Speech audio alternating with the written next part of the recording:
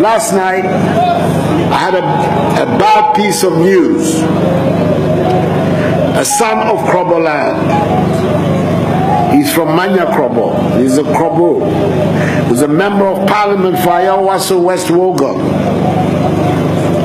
Emmanuel Kyeremanteng Agyarko a stalwart of the NPP and a very important member of parliament, died suddenly yesterday in the United States of America. Came as a big shock because it was so premature.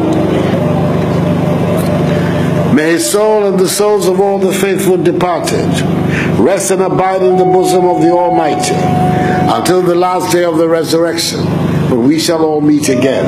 Amen.